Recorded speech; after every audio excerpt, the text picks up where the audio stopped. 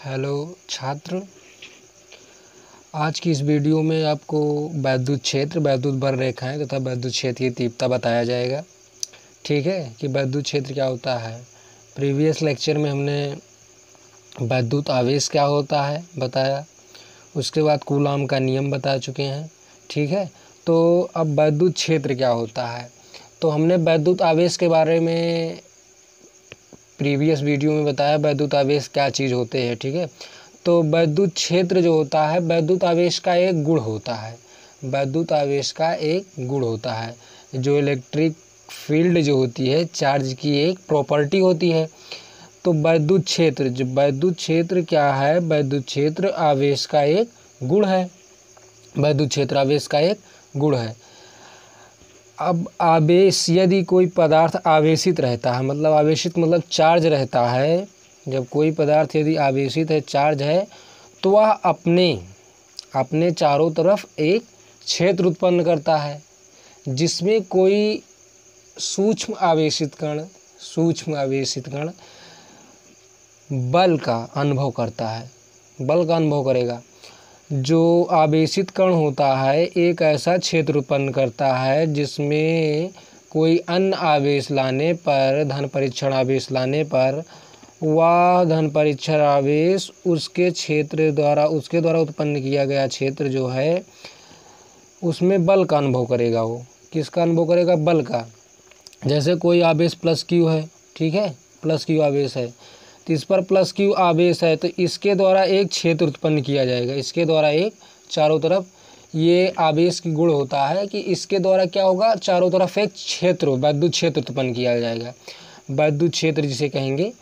लेकिन ये हम देखते हैं कोई आवेश, हमने देखा कि कोई आवेश प्लस क्यू है वो आवेशित है, ठीक है? तो इसके चारों तरफ़ हम कोई अन्य आवेश लाते हैं। तो आवेश या तो विकर्षित होता है, या आकर्षित होता है। आवेश या तो ये पॉजिटिव चार्ज उसको रिपल करेगा या उसे अट्रैक्ट करेगा, ठीक है? तो इस आवेश ये गुण क्या है? ये आवेश जो है, ये गुण क्या है जानेंगे इस आवेश के द्वारा उत्पन्न किया गया गुण। तो ये आवेश के द्वारा उत्पन्न किया गया गुण जो होता है, यही इसका क्या कहलाता है? वैद्युत क्षेत्र कहलाता है। तो आवेश के चारों ओर का वह क्षेत्र होता है, जिसमें कोई बल, जिसमें कोई आवेश जो है, बल का अनुभव करे, वो क्या कहलाता है? वैद्युत क्षेत्र कहलाता है। ठीक है? तो डिफिनेशन हम इसकी क्या कहेंगे? समझ में आया ना? जैसे कोई आवेश प्लस क्यू है तो उसके चारों तरफ़ एक क्षेत्र उत्पन्न होता है, जिसमें कोई आवेशित कण आने पर एक बल का अनुभव करता है। बल आकर्षण एवं प्रतिकर्षण किसी प्रकार से भी बल हो सकते हैं, ठीक है? किसका अनुभव करेगा? एक बल का अनुभव करता है, ठीक है? तो उसके द्वारा वह जो क्षेत्र उत्पन्न किया गया है, वह क्षेत्र क्या कहलाता है? वैद्युत क्षेत्र कहलाता है, ठीक है? वह क्या कहलाएगा? वैद्युत क्षेत्र कहलाएगा। तो हम इसकी डिफिनेशन लिख सकते हैं कि किसी वैद्युत आवेश के चारों ओर का वह क्षेत्र जिसमें कोई अन्य आवेश आकर्षण अथवा प्रतिकर्षण का अनुभव करता है, वैद्युत क्षेत्र कहलाता है, ठीक है? हमने क्या बताया कि किसी आवेश के चारों ओर, आवेश हो या आवेशों का समुदाय हो, आवेश के चारों ओर उत्पन्न वह वैद्युत क्षेत्र, ना? वह क्षेत्र, जो वह क्षेत्र उत्पन्न करता है आवेश, वह क्षेत्र जिसमें कोई कण, कोई आवेशित कण लाने पर बल का अनुभव करे, ठीक है? आकर्षण या प्रतिकर्षण बल का अनुभव करे, वैद्युत क्षेत्र कहलाता है। इसी तरीके से याद कर सकते हैं इसको। रटने की आवश्यकता नहीं है। कोई आवेश है, उसके द्वारा उत्पन्न किया गया हुआ क्षेत्र जिसमें कोई अन्य आवेश लाने पर वह आकर्षण एवं प्रतिकर्षण बल का अनुभव करे, वही वैद्युत क्षेत्र कहलाता है। बस इतना याद रखना है कि, ना? ठीक है। तो उसके बाद अब, ये तुम्हारा हुआ वैद्युत क्षेत्र। अब इसके वैद्युत क्षेत्र है प्लस क्यू आवेश, ठीक है? प्लस के हुए इसमें कोई आवेश क्यू लाने पर ये क्या करेगा? वैद्युत क्षेत्र का अनुभव करेगा। यदि यह आवेश चलने के लिए स्वतंत्र है, ये आवेश चलने के लिए स्वतंत्र होता है तो ये एक वैद्युत बल रेखा की दिशा, ये जो है वैद्युत क्षेत्र की दिशा में गत करना शुरू कर देता है। यदि ये स्वतंत्र हो चलने के लिए आवेश तो ये जो वैद्युत क्षेत्र इसके द्वारा उत्पन्न किया गया वैद्युत क्षेत्र है, उसकी दिशा में ये चलने के लिए स्वतंत्र हो जाता है, ठीक है? ये क्या होगा? उसकी दिशा में चलने लगेगा, ठीक है? यह आवेश अगर स्वतंत्र हो तो। यदि बल की दिशा निरंतर बदल रही हो तो आवेश की चलने की दिशा भी निरंतर बदल जाएगी, ठीक है? अर्थात आवेश वक्राकार मार्ग पर चलेगा। वैद्युत क्षेत्र में किसी स्वतंत्र आवेश के मार्ग को, वैद्युत क्षेत्र में किसी स्वतंत्र आवेश के मार्ग को वैद्युत बल रेखाएँ कहते हैं। ये जो वैद्युत, ये आवेश जो क्यू ज़ीरो है, आवेश, हमने जो धन परीक्षण आवेश रखा, ये आवेश जब इस वैद्युत क्षेत्र की दिशा में चलने लगता तो इस, इसके द्वारा जो ये पथ अपनाया गया, ये जो मार्ग अपनाया गया, इसी मार्ग को हम क्या कहेंगे? वैद्युत बल रेखाएँ कहेंगे। इलेक्ट्रिक लाइन ऑफ़ फोर्स ठीक है? इलेक्ट्रिक इलेक्ट्रिक ठीक है, क्या कहेंगे? इलेक्ट्रिक लाइन ऑफ़ फोर्स ठीक है, क्या कहेंगे? इलेक्ट्रिक लाइन ऑफ़ फोर्स ये इस आवेश के कारण एक वैद्युत क्षेत्र उत्पन्न होगा। इस आवेश को यदि इस वैद्युत क्षेत्र में प्रवेश करेंगे तो ये वैद्युत क्षेत्र की दिशा में चलने लगेगा। तो इसके द्वारा चलने पर जो मार्ग अपनाया गया, वही वैद्युत बल रेखाएँ कहलाती हैं। इस आवेश के कारण चलने पर जो बल अपनाया गया, वही क्या कहलाएँगी? वैद्युत बल रेखाएँ कहलाएँगी। डिफिनेशन लिखना हो तो लिख लीजिए। वैद्युत बल रेखा वैद्युत क्षेत्र में खींचा गया, वह काल्पनिक पृष्ठ होता है। वैद्युत बल रेखा, वैद्युत बल रेखा हम कह रहे हैं ना, वैद्युत बल रेखा, वैद्युत क्षेत्र में खींचा गया वह काल्पनिक पृष्ठ होता है, ठीक है? काल्पनिक निष्कोण पृष्ठ नहीं, काल्पनिक निष्कोण वक्र होता है, जिस पर एक स्वतंत्र आवेश, जिस पर एक स्वतंत्र आवेश व पृथकृत ना, स्वतंत्र आवेश व पृथकृत एकांक धन आवेश चलता है, ठीक है? धन आवेश चलता है, यही तुम्हारा क्या कहलाता है? वैद्युत बल रेखा। अब उसके बाद वैद्युत बल रेखा किसी भी बिंदु पर खींची गई स्पर्श रेखा उस बिंदु पर स्थित धन आवेश पर लगने वाले बल की दिशा को प्रदर्शित करता है। ये जानना ज़रूरी है। वैद्युत बल रेखा के किसी भी बिंदु पर खींची गई स्पर्श रेखा। वैद्युत बल रेखा के किसी भी बिंदु पर, ये तुम्हारी जैसे वैद्युत बल रेखा है, ये वैद्युत बल रेखा किसी भी बिंदु पर खींची गई स्पर्श रेखा उस बिंदु पर स्थित धन आवेश, किसी बिंदु पर खींची गई स्पर्शिका उस बिंदु पर स्थित धन आवेश, उस बिंदु पर स्थित धन आवेश, ठीक है? धन आवेश की दिशा को प्रदर्शित करेगा। जैसे धन आवेश की दिशा, धनावेश पर जो बल लग रहा है, उसकी दिशा को, धनावेश को नहीं, जिस पर लग रहा है धनावेश की दिशा को प्रदर्शित करेगा। जैसे ये है तो इसकी विद्युत बल रेखा तो इस पर एक स्पर्श रेखा हम खींचेंगे, जैसे कोई वक्र इस पर ये वक्र है, इस पर हम स्पर्श रेखा खींचें तो ये स्पर्श रेखा क्या बताएगा? उस आवेश पर लगने वाले बल की दिशा को बताएगा कि इस बल की दिशा इधर की तरफ़ है, ठीक है? फिर हम देखते हैं कि यदि हमारा चार्ज प्लस है, ठीक है? प्लस क्यू आवेश लेते हैं? एक धन आवेश वाला गोले लेंगे। उसके द्वारा उत्पन्न किया गया जो वैद्युत बल रेखा, विद्युत क्षेत्र होगा, उसमें बल रेखाएँ खींची गई। बल रेखाएँ खींची गई, बाहर की तरफ़ ये है, प्लस प्लस बल रेखाएँ हैं, धन आवेश स्वतंत्र छोड़ देता है। जब इसमें हम कई, कोई अन्य आवेश, धन आवेश को स्वतंत्र छोड़ देते तो वह प्रतिकर्षण के द्वारा अनंत तक सीधा रेखा में चला जाएगा, ठीक है?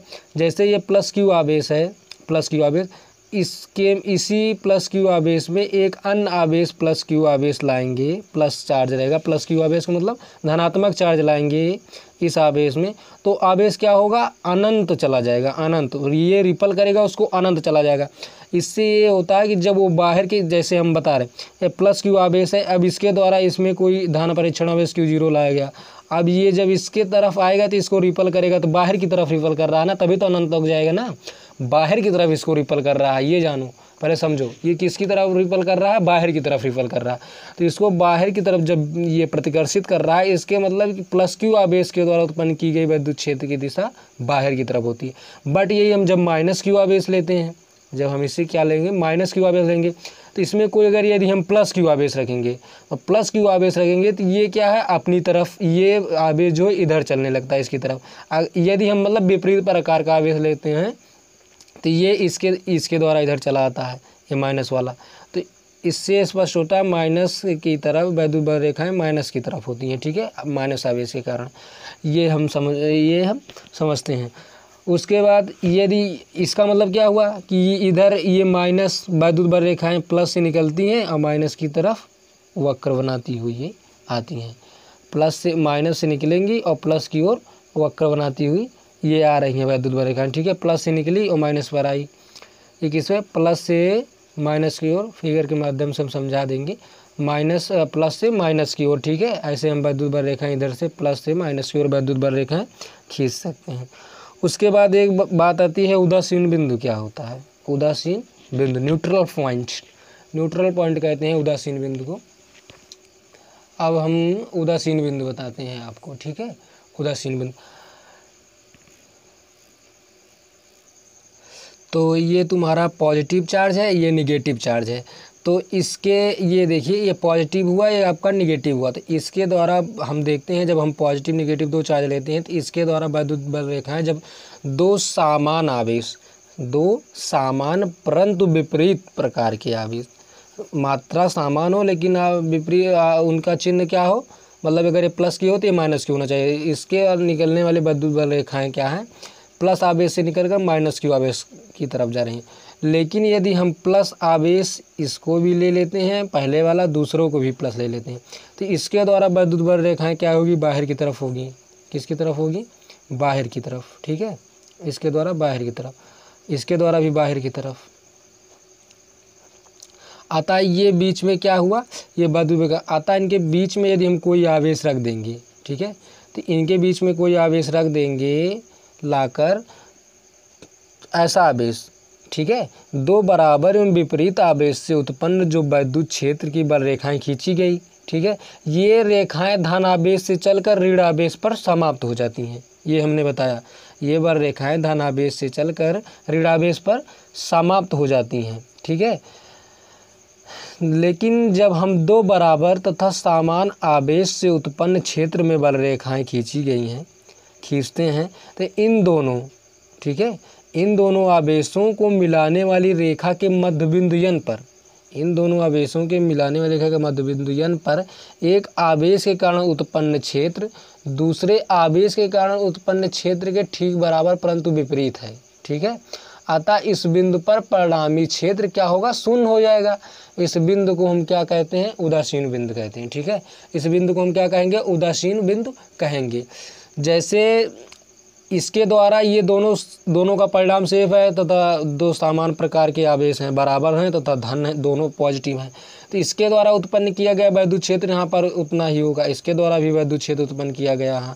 तथा यहाँ पर किया गया नेट वैद्युत क्षेत्र इसके द्वारा इस, इधर की हो इसके द्वारा इधर की ओर। तो ये वैद्युत क्षेत्र एक धना वो वेक्टर राशि होती है, सदिश राशि। इसके द्वारा इधर की तरफ़ उतना ही, इसके द्वारा तो नेट यहाँ पर क्या होगा? नेट। आपने वेक्टर पढ़ा होगा नेट यहाँ पर कितना हो जाएगा? ज़ीरो क्योंकि इधर प्लस प्लस फाइव वेक्टर का है, कोई वेक्टर है प्लस फाइव इधर इधर का तरफ़ है वेक्टर फाइव तो दोनों को जोड़ोगे तो क्या होगा? जोड़, आपका शून्य हो जाएगा, ठीक है? तो ये जो पॉइंट मिलता है, इसे उदासीन बिंदु कहते हैं, ठीक है? दूसरी कंडीशन ये होती है, यदि दोनों धन आवेश ठीक है, आपस में बराबर न हो तो उदासीन बिंदु मध्य में नहीं होगा। ठीक है? बराबर ना हो, दोनों धनावेश बराबर न हो उदासीन बिंदु क्या होगा? मध्य में नहीं होगा। इस दशा में आवेश Q1 तथा Q2 तथा उनकी उदासीन बिंदु से दूरियाँ यदि R1 तथा R2 हो तो Q1 upon R one square and Q2 upon R two square का एक संबंध होता है, ठीक है? जैसे अगर ये, ए वाला हम मान लिए पॉजिटिव चार्ज है, इस पर फाइव फाइव कूलाम का आवेश है, इस पर वन कूलाम का आवेश है तो दोनों क्या हैं?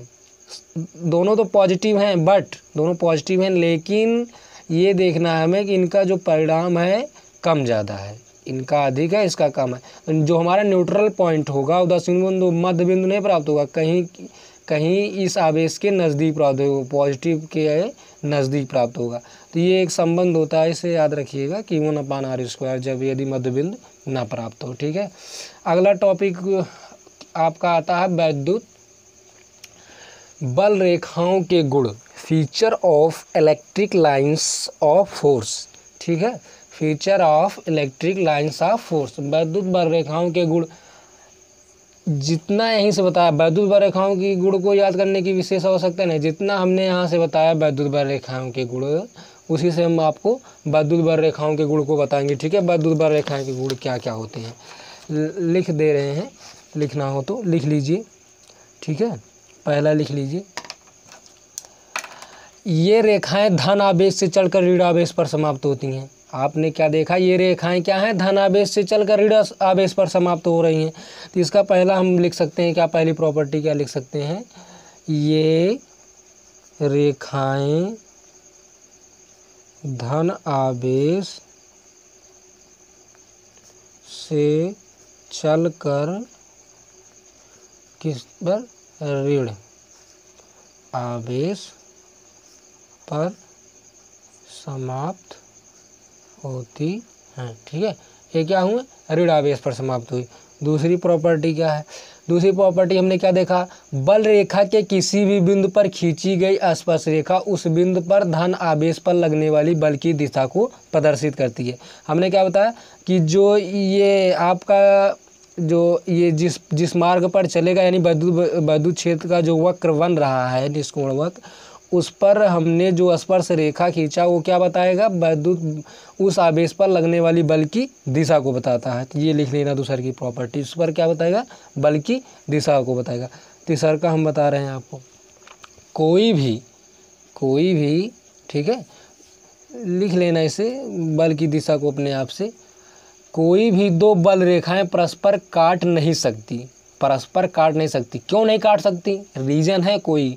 क्यों नहीं काटेंगी? क्योंकि उस दशा में कटान बिंदु पर दो स्पर्श रेखा खींची गई। अगर दो वैद्युत बर रेखाएँ आपस में काट रही हैं, मानो जैसे ये वैद्युत बर रेखा है, एक एक वैद्युत बर रेखा ये है ये मान लिया हमने काट दिए। माना ये दोनों काट रही हैं। मान लीजिए थोड़ी देर के लिए, ये दोनों काट रही हैं। तो जब ये दोनों काटेंगी तो इस पर भी एक स्पर्श रेखा खींची जाएगी। इस वक्र पर, इस वक्र पर भी एक स्पर्श रेखा खींची गई, ठीक है? माना कोई दो वक्र है ऐसे, और दूसरा एक एक वक्र आपका ऐसे है। तो ये दोनों वक्र हैं तो इस पर एक स्पर्श रेखा ऐसे खींची गई। इस पर एक स्पर रेखा ऐसे खींची गई। दो विद्युत बल रेखाएँ आपस में काट रही यानी कि विद्युत बल रेखाएँ की क्या बताया बल की दिशा बताता है। विद्युत बल मतलब विद्युत क्षेत्र की दिशा को बताता है। विद्युत बल लगने वाले बल की दिशा यानी कि विद्युत क्षेत्र की दिशा, दोनों एक ही चीज़ है। तो ये बता रहा है क्या? विद्युत क्षेत्र की दिशा, यानी कि विद्युत बल की तो विद्युत बल की दिशा दो नहीं हो सकती है। किसी एक व्यक्ति के द्वारा लगाया गया या किसी एक कण के द्वारा लगाया गया जो आपका बल होगा, उसकी दिशा एक ही होगी। क्योंकि कोई व्यक्ति अगर किसी चीज़ को खींच रहा है, मानो तो वो एक ही तरफ़ तो खींचेगा। ये तो है नहीं कि इधर भी इधर भी खींचेगा, इधर भी खींचेगा। एक ही तरफ़ तो वो खींचेगा।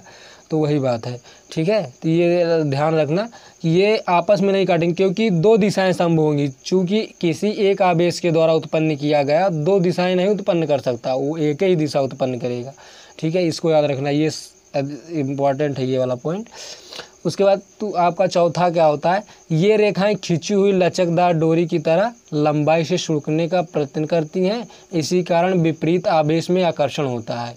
इसी कारण क्या होता है? विपरीत आवेश में आकर्षण होता है। उसके बाद अगली प्रॉपर्टी ये रेखाएँ अपनी लंबाई के लंबोत दिशा में, ये रेखाएँ जो है अपनी लंबाई के लंबोत दिशा में एक दूसरे से हटने का प्रयत्न करती हैं। जैसे ये वैद्युत क्षेत्र है, ये तुम्हारी बर रेखा, दूसरा फिर यहीं पॉजिटिव से निकला, इधर वैद्युत तो ये दोनों क्या होंगे? निकल एक दूसरे को ये ये लंबाई के लंबोत यानी ये तो ये क्या करें? एक दूसरे को ये दूसरे को क्या करेंगी? प्रतिकर्षित करेंगी। ये दूसरे एक दूसरे को क्या करेंगे? प्रतिकर्षण करेंगी। इसी, यही रीज़न है कि दो सामान प्रकार के आवेशों में प्रतिकर्षण होता है। ठीक है? दो सामान प्रकार के आवेशों में प्रतिकर्षण होता है। यही रीज़न है। स्टूडेंट आप इतना समझ गए होंगे कि विद्युत आपको आज ने आप क्या क्या पढ़े? आप वैद्युत क्षेत्र पढ़े, वैद्युत बर रेखाएँ क्या होती है? वैद्युत क्षेत्र का कॉन्सेप्ट से समझिए। याद करने की कोई आवश्यकता नहीं, आप कॉन्सेप्ट समझिए। कॉन्सेप्ट जैसे हमने कॉन्सेप्ट बताया है कॉन्सेप्ट से समझने की कुछ फिगर बनाइए। क्या कॉन्सेप्ट है? तो एक बार रिविज़न कर देते हैं। ये आपकी वैद्युत क्षेत्र क्या होता? है कोई आवेश, कोई भी वैद्युतमय आवेश जो होगा, उसकी एक गुण होता है उसके अंदर। क्षेत्र उत्पन्न करने जिस पर कोई एक आवेश आएगा पॉजिटिव आवेश, वो क्या करेगा?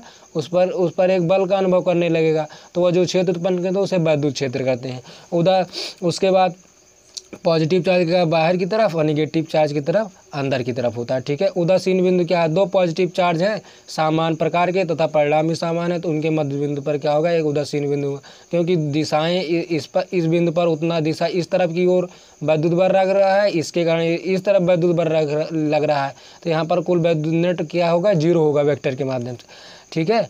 इसके बाद ये आप समझ लीजिए, यदि दोनों धनावेश बराबर ना हो तो उदासीन बिंदु मध्य में नहीं होता, बराबर ना हो यानी कि एक बड़ा हो, एक छोटा हो, ऐसे बना लीजिएगा। एक पॉजिटिव हो, एक निगेटिव एक बड़ा हो, एक छोटा हो। पॉजिटिव निगेटिव में एक बड़ा आवेश हो, यानी पाँच माइक्रोकुला ये पाँच माइक्रोकुलाम का हो दो माइक्रोकुलाम का हो।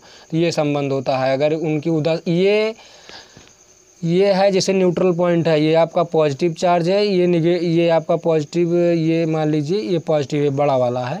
ये पाँच का है दो का है या, या, या एक का है मान लीजिए। तो ये न्यूट्रल पॉइंट मान लीजिए यहाँ प्राप्त है इसके द्वारा ये दूरी आर वन है इसके द्वारा यहाँ से इसकी दूरी आर टू है ये दूरी है ये आर वन आर टू उदासीन बिंदु से इनकी दूरियाँ हैं ठीक है?